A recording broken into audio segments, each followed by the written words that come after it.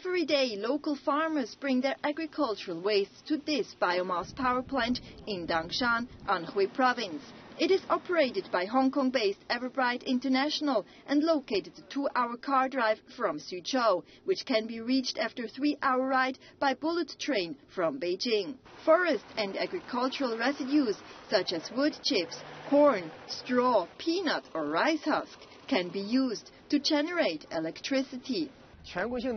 Environmental protection is a nationwide issue. In the past, the only way to deal with forest and agricultural residues was to burn them in the field, which caused air pollution. Now we use them with biomass technology to generate power. That is environmentally friendly and it can improve the lives of farmers at the same time. Our mission is to turn waste into wealth. Local farmers and delivery drivers say the plant creates jobs in the economy and improves the living standard. These biomass materials are transported from a town 10 miles away from here. I send the materials to the power plant once a day. The load is put onto the scale at the fuel delivery point and then brought to the storage area. From there, the crop residues are collected, added to the supply mix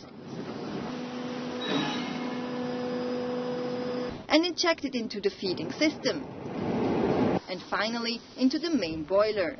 Around the clock, plant workers monitor the heating process from the central control room. At present, we can produce 200 megawatt of electricity every year, or consume nearly 150 tons of forest and agricultural residues. The electricity that is generated by burning the biomass sources is then added to the country's state grid.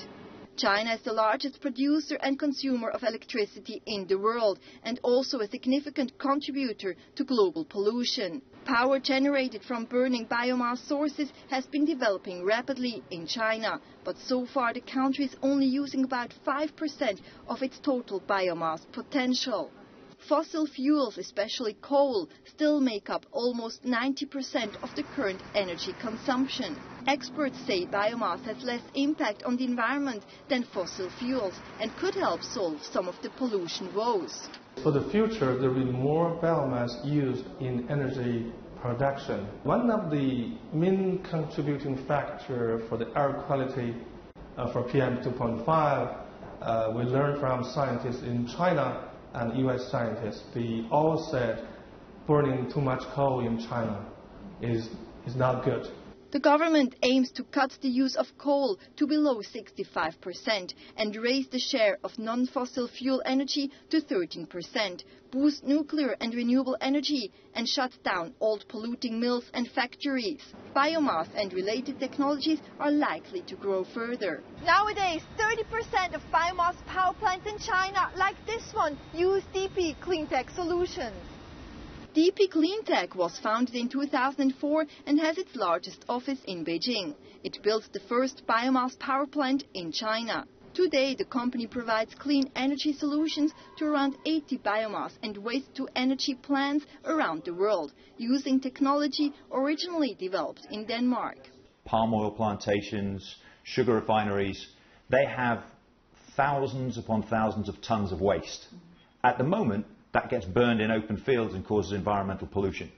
Again, instead of that energy being lost and the pollution being created, we're able to capture that energy, we're able to clean um, in the process and put the nutrients back to the soil.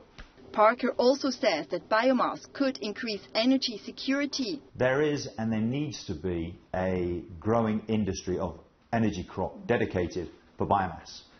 This we see coming in China. It alleviates desertification, which we're seeing happening. It enables you to use marginal lands that can't be otherwise used, again to enhance energy security. So a very key component of the future of biomass globally, as well as in China, mm-hmm. is energy crop, and we see a big future in that. On the flip side, critics have warned of negative impacts, such as the need for vast land to grow biomass, which could displace crops and push up food prices. Martina Fuchs, CCTV News, in Dangshan, Anhui Province. To the real estate